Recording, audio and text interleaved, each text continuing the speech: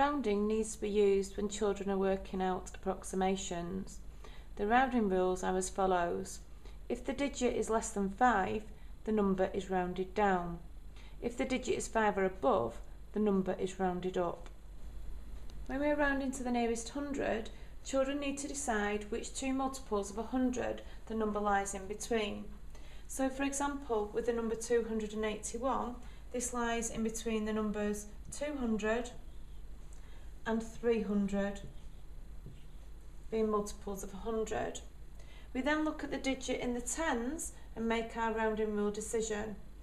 As this is an 8 in the tens, this number is rounded up, therefore 281 will round up to 300. With the number 352, the two multiples of 100 that this number lies in between are 300 and 400. We then follow the rounding rules looking at the digit in the tens.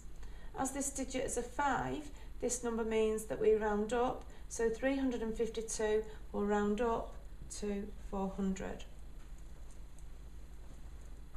With the number 427, the two multiples of 100 that 427 lies in between are 400 and 500. We then follow the rounding rules by looking at the digit in the tens. In this case, because the digit is a 2, 427 will round down and therefore rounds down to 400.